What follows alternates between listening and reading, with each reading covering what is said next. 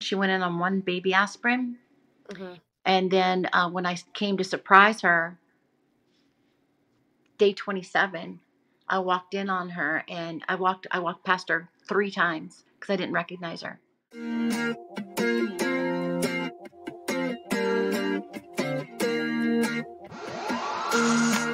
Welcome to the Blind Mom Life podcast. I'm your host, Chelsey Painter Davis, blind wife, mother, and public speaker.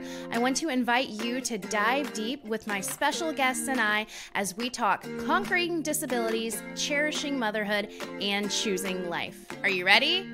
Action.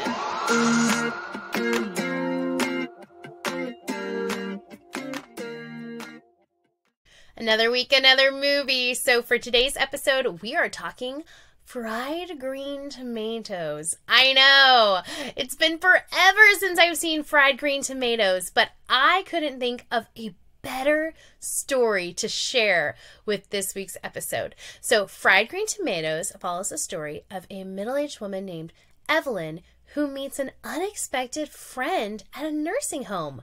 Minnie, who is much older than Evelyn, but is able to speak so much wisdom and truth and enthusiasm into Evelyn's life, it really empowers her to take control of her life once again and start living in a way that she can feel like she's really present. Wow, I like this story so much. I remember when I was a young kid and my mom would always make time for elderly people.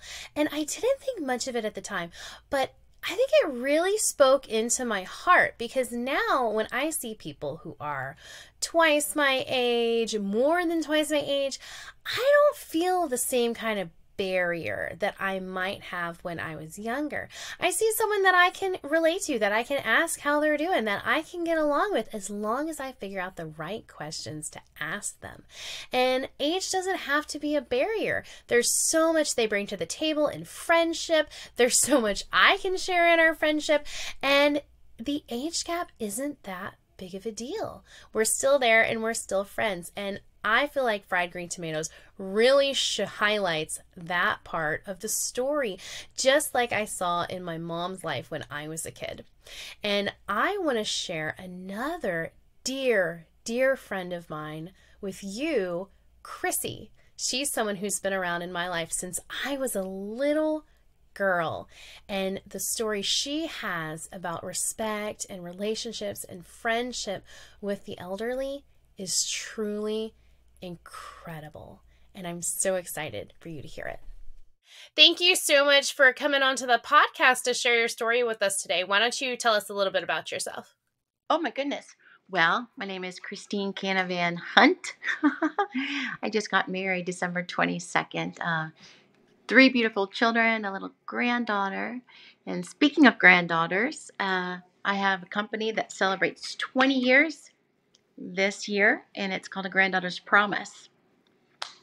So uh, I guess I have been an advocate for the elderly uh, for 20 years, helping to protect them from neglect and abuse, and kind of be a liaison when families have to start thinking about finding resources for their loved ones, uh, making sure that they're not taken advantage of, stolen from, misled, or harmed. That's amazing. Congratulations on 20 years. thank you. Yeah. So have you always had a heart for the elderly or is this something that kind of grew Um, over time? Absolutely not. I didn't want anything to do with the elderly.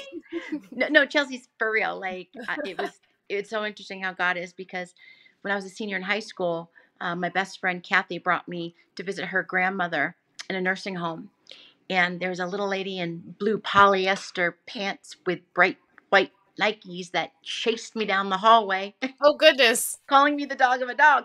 And so since then, I, you know, I was like, it made me a little nervous. True story. Uh, but then the Lord definitely put a burden on my heart for the only minority we all become, and that's elderly. So what brought you to um that change of or that softening of your heart for the elderly? Well, my grandmother uh, lost her life in an assisted living with less than a month from horrific abuse. Uh, really, I, I don't I don't want to upset anybody on your podcast, but it was horrific. And she died, and uh, they were charged with what was it, seven, 17 counts of abuse and neglect. And after she died, I just thought, okay, I've got to do something, or else it'll be in vain. And that's that's what it was. Is I was going to make sure that this didn't happen to anybody else within my means, Wow. so that I could not have them experience what we had to go through. Can you tell us a little bit about your relationship with your grandmother and what led up to that event? Oh my gosh, Chelsey, gosh, you made me cry. So I'm sorry. no, well, you knew her, you know, which is uh, I amazing. did. Yeah. Um, she lived with us for 10 years. Um, my parents traveled, and mom and dad were just so um, helpful in having my grandmother come and, and stay with us. And so she lived with us for 10 years, and then she started to um, have accidents, uh, incontinence, and she was falling. And I was like, I had two small children at the time. And I thought, uh, what am I going to do? I can't do this anymore. I'm scared. And so Mhm. I called around, and there was no one that could help me understand how to start to search for living options and resources. And so um, my relationship with my grandmother was very, very close, and I felt a lot of guilt. I felt like a very bad granddaughter. And that was because I was um, really exhausted. I was exhausted with, you know, uh, two small children, two and three, and uh, taking care of my grandmother. And when you're that exhausted, you can lash out at them or your family because you're completely overwhelmed being a mother, Right. being a wife, being a caregiver, uh, having some work on the side, contributing to your household, your church, Mhm. and your community.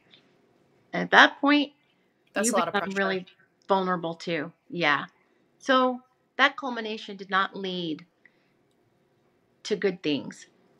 However, they led to an awareness that I'm now able to share. Um, we've helped over 5,000 families over the past 20 years oh, navigate. so yeah. through a- yeah. Yeah. So that's my relationship with my grandmother is ongoing still because every time we help someone, um, we thank Sally. So God used it after all. He took something that was really bad and allowed a lot of good to come from it.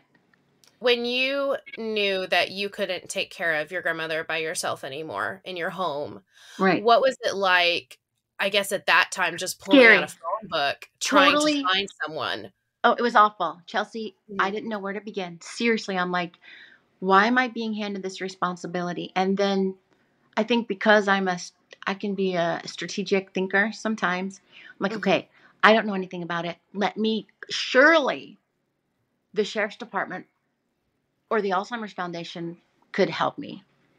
And they couldn't. They, Really? Granddaughter's, Granddaughter's Promise was the first elder placement advisor and family support specialist in the state of Florida.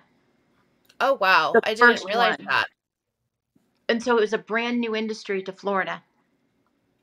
Um, having an advisor walk you through everything. Mhm. So it was scary. Uh, it was frustrating. I felt guilty. Mhm. And those, that culmination kept me from making a good choice when I went to go and look at living options because I looked through uh, aesthetic eyes rather than uh, generational eyes, right? So that we makes can a be lot of sense. we can be fooled by, oh, look at the baby grand piano. Oh, look how beautiful this place is, right? Mhm. But your loved one really isn't going to feel safe in that big world. And and they just really want to feel safe and familiar. Mhm. So the problem is when you're left on your own to learn about these things, you yourself become vulnerable because you don't have the mindset for what's coming next for them. Or else you would be looking in a different way. You know, you would look at dementia, uh, small care homes, which are bed and breakfast style assisted living facilities with one on one care. Um, if your loved one was more uh, social, maybe a, a bigger place, you understand, with resources. But when you don't know where to begin, you can make some really big mistakes and uh, so you just feel and you and you feel a sense of abandonment sometimes as well because it's left to you on your lap Mm-hmm. so it was a lot When you did find a place for your grandmother in those that early time when you weren't really educated in the industry, what made you pick that place? Like what was the appeal of it to you that you thought it would be the best place for her? yeah it was beautiful it was beautiful you walked in it, aesthetically it was lovely Mm-hmm. so it looked like something that i would like to see her be involved in Mm-hmm.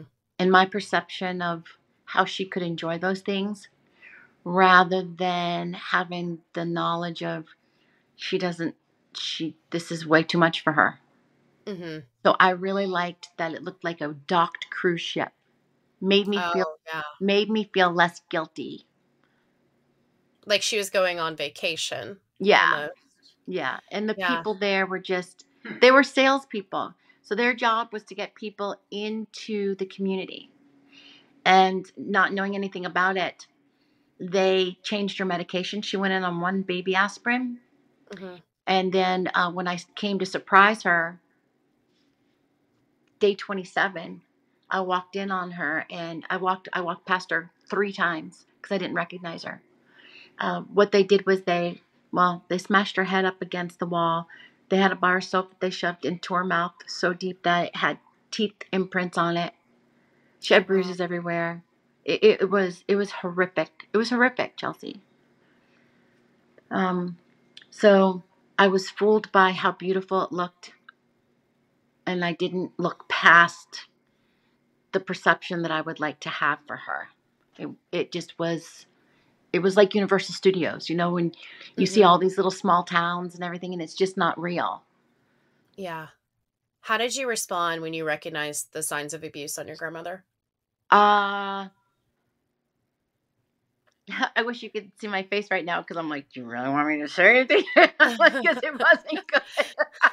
You don't have to tell me where you. you buried the bodies. You can skip Eh, that okay, part. like, I'm like, you can see me, and I'm like, Chelsey, listen, right? Uh, but anyways, I, I called nine one one. I called Oh, nine wow. one one. It was that bad, and there was blood everywhere, and Oh. it looked awful. Chelsey, it was disgusting. And so I called nine one one, and they took her to the hospital.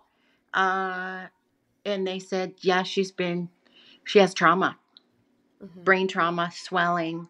Oh my it was goodness. terrible. Yeah, contusions. So, and then what happened? You want to know what what happened? Is uh, when I first found her looking shabby like she was and incoherent. We looked at Yeah. her medicines, and uh, there was like seven new medicines that I didn't, or my mother didn't authorize, which were psychotropic drugs. I call Are they allowed to do that? Uh, well, no. They were supposed to talk to a healthcare surrogate and they didn't. They did what Mhm. was easiest for them because she was paying a lot of money. She Mhm. wasn't appropriate. So they drugged her up so that she would not disturb the community. Wow. And so someone got upset with her and then smashed her head up against the. It was just awful. Just Oh Chelsey was awful. Um, so the bar of soap I took, and uh, I called nine one one, and the administrator came up, and I said, "How do you explain this?" And I showed her the soap, and she said, um, "She said, well, I'll need to take that so I can show my director." And I said, "Well." How about you pull it from my cold dead hands? Because I'm not giving it to you. I gave it to the police. Yeah. And then that was that. She went to the hospital. She went into uh, rehab, and there's, she couldn't. She just didn't get better, and she she passed away. Oh wow. I'm so sorry that that happened to you, Aw. Chrissy.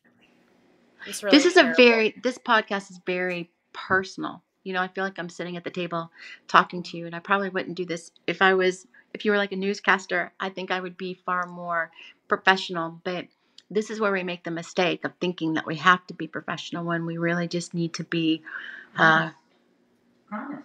yeah we we need to come together and talk about things that are not fun to talk about you know like how are we going to pay for this or things that you may be embarrassed about that your loved one may be doing or how they're behaving Mhm. and that ends up really bad for everybody involved so we have to be able to ask questions and ask for help and know that there's somebody there that's going to actually take the reins for you Mhm.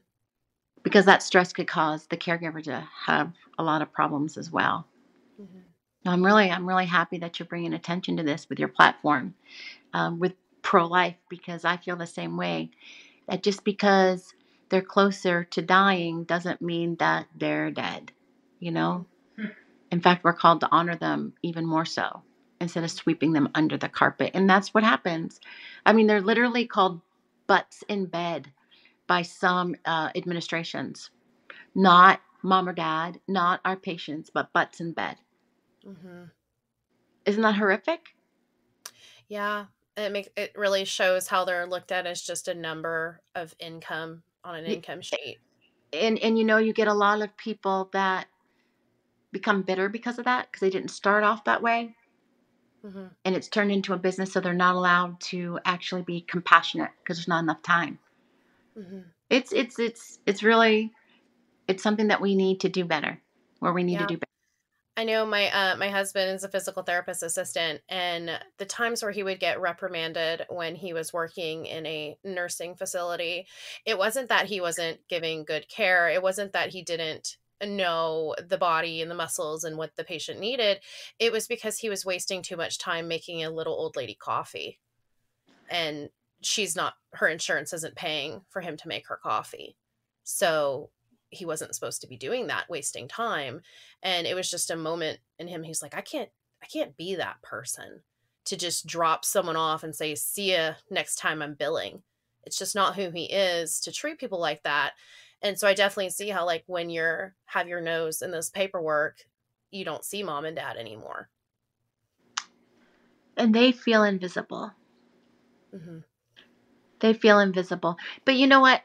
There's great alternatives. And I think just getting the word out there hmm that is where our efforts need to be. Um, it's just the lack of understanding of how to find the best match for your mom or dad. It comes down to that. And people don't know that if they um, don't have enough money. If, if mom or dad served in the military, they get, they get close to $2,300 a month each month to help to pay for for care and assisted living oh no one's wow tell, no one's sharing that information um, there's there's all kinds of wonderful resources free resources out there to empower caregivers Mhm. that our families don't know about so there are some wonderful wonderful resources but we're just not getting the information out there like a placement advisor for example um, as a placement advisor my job is to listen to the families first and help them process what they have to do because there's a lot of guilt that comes along with that, especially you're taking your dad's car keys away or you feel like they're taking their independence away. And a lot of times they don't take those car keys away and they end up not in a, in a good situation. Um, Mhm. So I try to listen to families. Then we talk about their loved one, right? Because how in the world could you even? And that's what people have to look out for. If you're touring places and you, they don't even bother asking about what your mother or father did, their siblings, their hobbies, their interests, then then that's a warning. That's a red flag right there. So getting to know the family dynamics, their budget. If they don't have a lot of money, then I, I want to plug them into some resources that they may be eligible for. So I do that. And um, and of course we get their assessment or their diagnosis. And then we take them on tours of assisted livings that for Granddaughter's Promise has the the golden star. I only work with homes that I, I have confidence in because I've I've placed people there. And so we'll take them on tours of assisted living, help them to move in, monitor the first week or two how things are going, and then visit.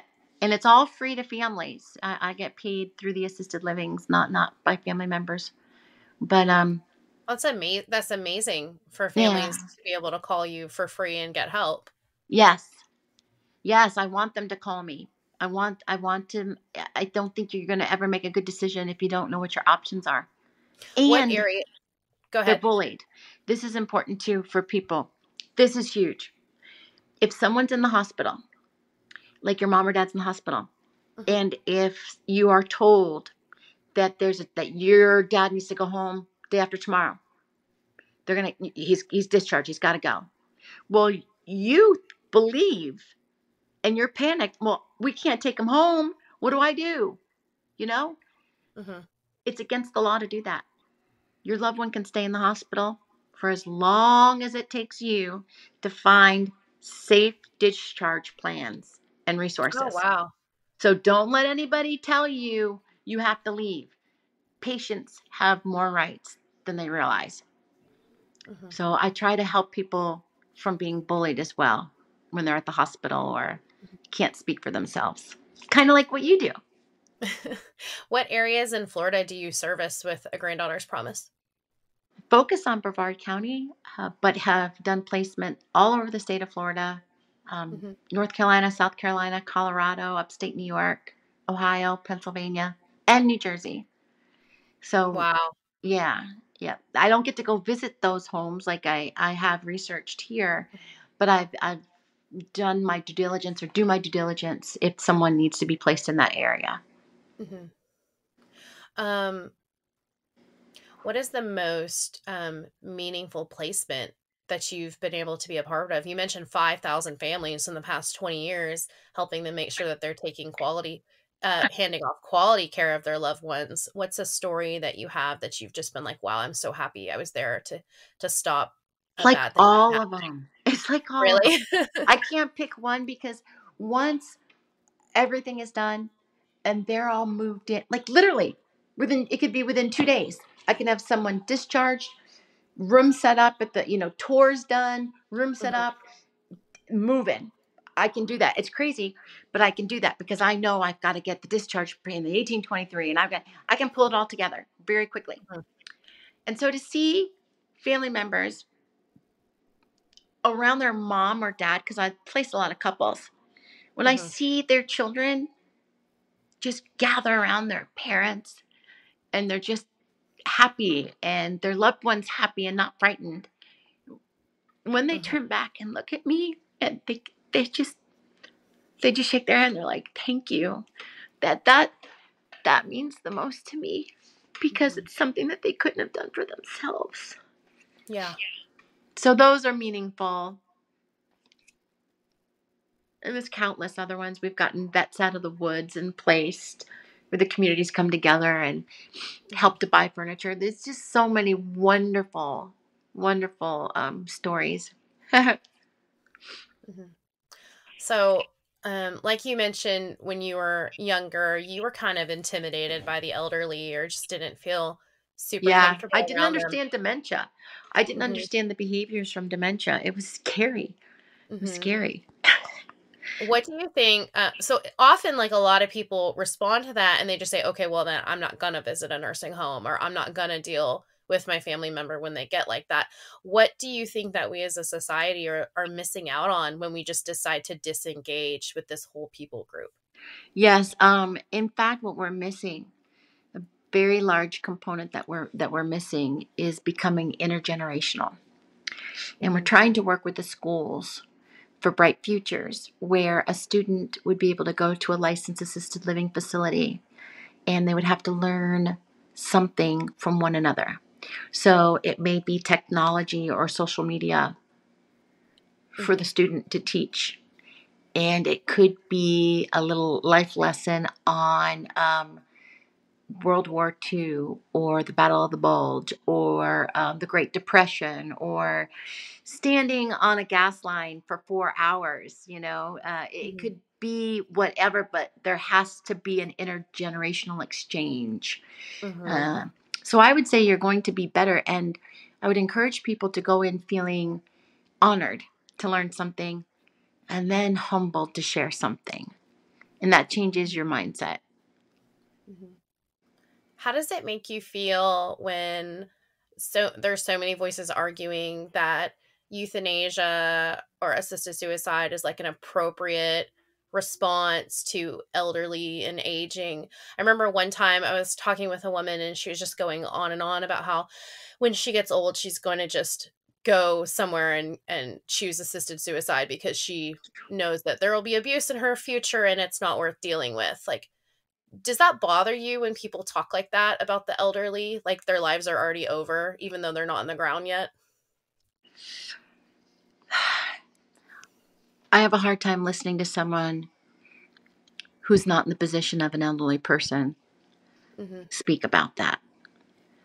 Uh, as for my thoughts on someone giving up and wanting to die, I think God calls you home. And I think that life is precious. And I don't care if it's at two days or a 100 days. I mean, a 100 years. Um, life is precious. So I think that that would be a very easy way to thin the herd here in America. And that turns my stomach, but I'm going to be honest with you about that. Um, I think it's a lack of empathy or desire to step up and Mhm. create new ideas and ways that uh, they could they could live happily and and enrich their communities. I mean, that's the bottom line is we don't have it. In other countries, they do. In other countries, they have got a uh, they've got apartments where they actually room with a college student and an elderly person, Oh wow. And their life uh, life expectancy is four to seven years longer than here in the United States because of that intergenerational.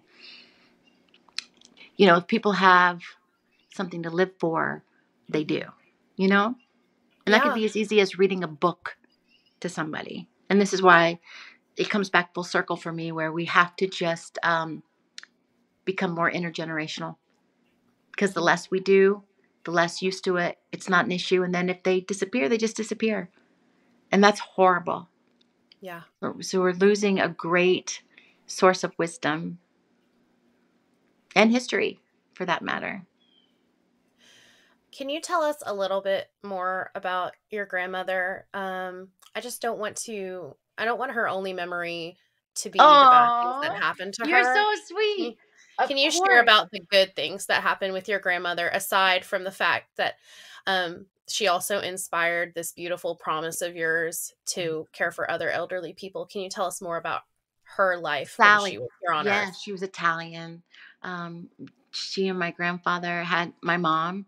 Um, they lived in New York, uh, Staten Island. My grandmother traveled all over the world, all over the world. She was independent and sassy. Uh, she was sassy. Was she was very sassy. She was so good to my brother and myself, full of energy, and got baptized six months before she died oh wow! at 85. Oh my goodness! we were at Eau Gallie Christian Church and there was a baptism. And my grandmother says, What are they doing up there? And I said, Well, Grandma, oh, I think it was my mom who says, Oh, they're getting baptized. And and my grandmother said, Well, I think I'd like to do that. And um, my mom said, Well, we'll call the church on Monday. And I'm like, Let's go right now. Remember that, mom? And so she did. She went, she walked right up and got bap dunked. And she came up and she goes, I feel so clean. Oh my goodness! Oh so wow! She was a hoot. She was hilarious. Do you remember when she ate the birthday candles for her birthday cake? I don't remember that. I was very young when I met her, but I do. Uh, I do remember her living with you guys and being a part of your Katie's face was like, she just ate the candles. And here's your mom. Just spit them into my hand. Just, just spit That's them so out. I funny. Yeah, that sounds like my mother. the best. Like one of my best friends. Yeah. Yeah. I thank you for that. You know, because I, I, I have to be reminded that she, as we all do, have a purpose, and God Yeah. uses us in any way that He wants to. Mhm. So I feel that God used her in a very, very mighty way. Uh, I mean, after getting baptized, which we never thought would happen in a million years, she's uh she's helped countless people Wow. by inspiring me to uh, just go, which is what I did. I'm just I didn't look back. I just knew I had to do something. Um, and I'm starting to get good at it, Chelsey. Do you um you said that you feel like your relationship with your grandmother is ongoing after her passing. Do you feel like she would be proud of you for all the people that you've helped? you know, I asked her that question. And uh, she answered it. There's a writer. Her name is Kat. I got this call. I went to, this is incredible. I went to go uh, antique shopping in Lake Geneva or, or, or uh, Eustis, Eustis area, I think. And uh, we went into one antique store. That's it. And I guess there's a whole bunch of it. And uh, I went back the next day. And when I was home, I got a phone call from this lady named Kat. And she says, I know this is going to be really strange and uncomfortable, but um, am I talking to the to Sally Wera's granddaughter? And I'm like, who is this? And I Mhm. thought maybe she said, "Well, um, my name is Kat. I'm an author, but I go to antique stores." And I and so I thought, I'm like, did I leave a business card? Because when I walked into that antique store the first time, I saw a picture up on the wall that uh, my grandmother had. It was very, very special. And very sadly, that picture that I had was destroyed by water. Mhm. And when I saw that, I thought it was a sign from her. So I bought it and it's hanging right in my bathroom. But what happened is that next day when I got that phone call, she said, Well, I am a writer and I go to antique stores. And I was at an antique store in the same area that I was in. And she said she was going through these bins of like 50 cent photos. They're just photos. And she said, I Mhm. noticed that there was a sleeve. And I pulled it up and she said, and there are newspaper clippings in there. And she said they were pristine, just beautiful. So she pulled it out, and it was my grandmother's wedding announcement. It was her picture. Oh no, it gets even creepier. It was her picture. It was a picture her bridesmaids.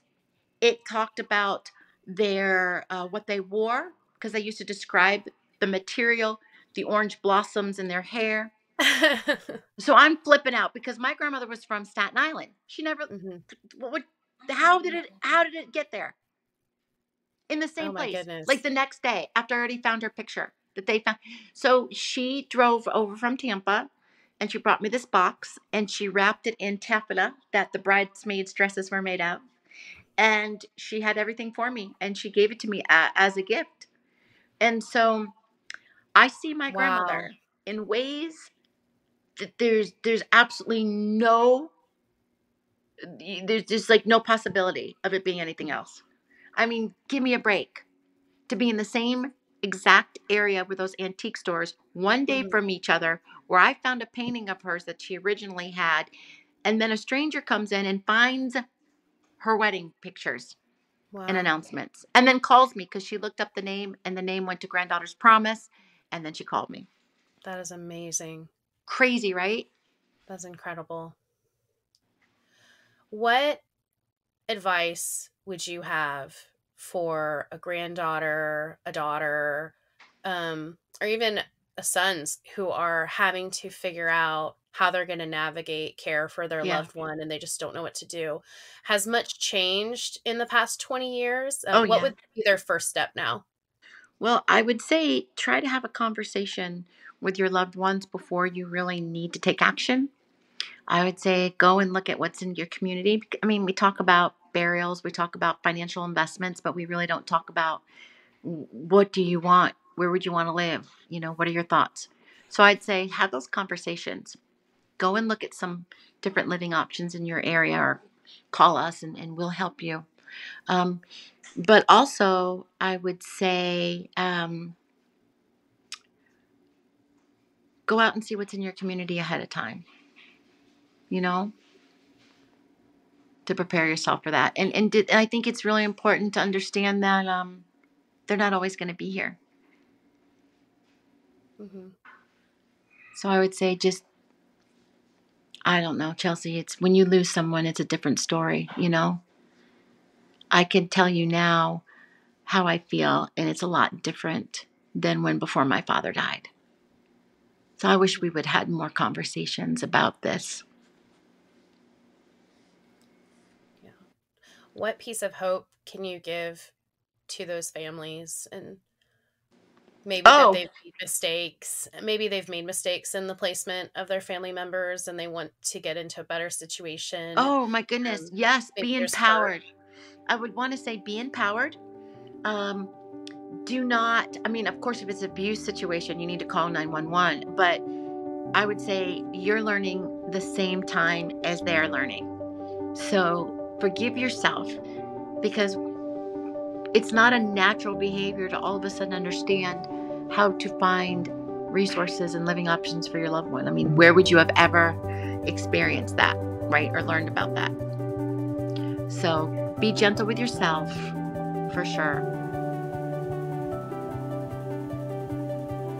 our seniors matter their lives are just as valuable as ours whether a life is seconds old or seconds away from being gone it has purpose and those people were meant to be here and their lives are meant to be cherished and respected. And it is such a big opportunity waiting for us when we use eyes to really see the elderly and notice them and engage with them and be there for them. Ask them how they're doing, ask them what they need, ask them what they want to tell you. Everyone has a story inside of them. You just have to find the right questions to ask. Time for Ask Me Anything. So, the first question I have for you today is How do you keep your house so clean if you're blind? Yeah, I know. It's hilarious. My house is not clean. It is not clean at all. My house is filthy. It's a mess most of the time. But there are those occasional lovely, sweet ladies who come over and ask me this preposterous question. so I will share the number one tip that I have that makes my house somewhat bearable for me. less is more. When you are blind, less is more. The more toys you have in your house, the more spices you have in your cabinet, the more cleaners you have on the shelf, the more for you not only to manage, but to memorize as a blind person. It is very hard for me when I open my pantry and there's like 10 different boxes of like rice-a-roni or or is it mac and cheese or is it like au gratin potatoes? I don't even know. And then I have to memorize those instructions because I didn't write it down on my voice recorder like I should have because why would I do that? I'm too busy changing diapers and I can't remember exactly how to make red lobster biscuits. I'm going to have to Google that again. Oh, I don't have time right now. And the less that I have in there, the less I have to think about, the less I have to figure out wait, is this box heavy enough to be cornbread or is it so light that it's pancake mix? Wait, which one's heavier? I don't know. See, it's ridiculous. It's so hard. And the less you have, the easier it is to put all the toys away, to put all the spices back in the cabinet without them falling back on your head. And this is critical, critical when you are a blind person because, like I said, you have to memorize all of your items. You can't just glance over them and be like, oh, yeah, I read that really quick. I know what I'm doing. No, no. If you don't already know what it says, you have to employ help to figure out what it says. And that can be a text to speech software on your phone, which takes time to pull out and takes time to load, and half the time it doesn't work. Or you have to FaceTime somebody and ask them, and half the time they're busy, or you can't see on the camera. Or, like my dad, you don't understand and you need to get your glasses. And then, oh no, the box is backwards, the box is sideways. And it is a big mess. And I've just noticed that I feel so much more at peace in my home. I feel so much more in control with the less stuff that I have. And then on those beautiful, wonderful days, it gives the illusion to my guests that my house is oh so clean. okay, so the next question I have for you is how do you clean up vomit and poop and pee when you can't see it? Well, let me tell you, it is absolutely disgusting. But what I have to do when someone decides to paint with poop in their crib when nap time was over, won't name any names, I take the child immediately out of the crib and I go set them in the bathtub. And that is a great place to zone in the chaos. I get the kids wiped down, rinsed off, bubbled up, all clean. And then I go put them in the living room in their jumper in a prison to play while I then disinfect all the poop out of the tub, cleaning the entire tub because, like you said, I don't know where the poop is. So I have to clean the whole thing. I mean, I can kind of feel them with my hands where the poop is, but that's pretty disgusting. And that's not all the bacteria and all the brown little streaky spots. So gross.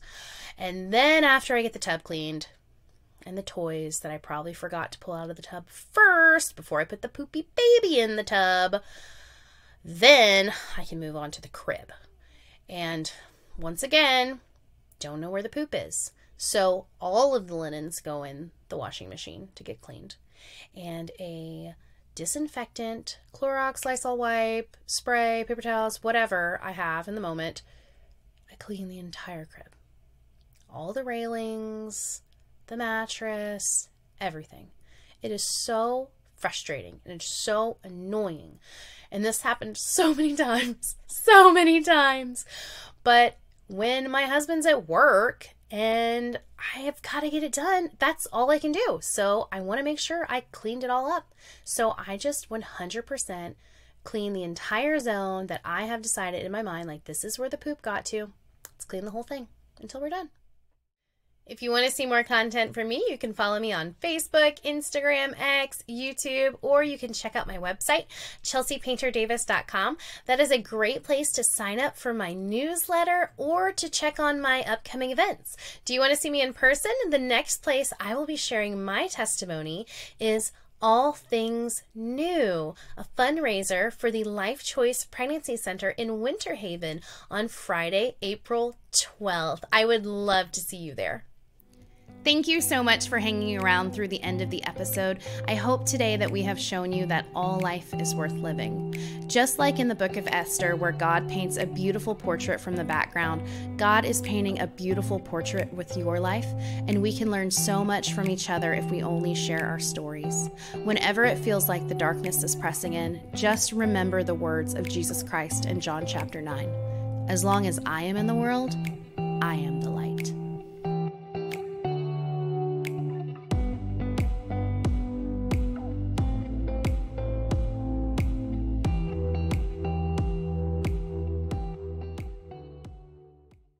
I need one more question for a blind person. What should it be?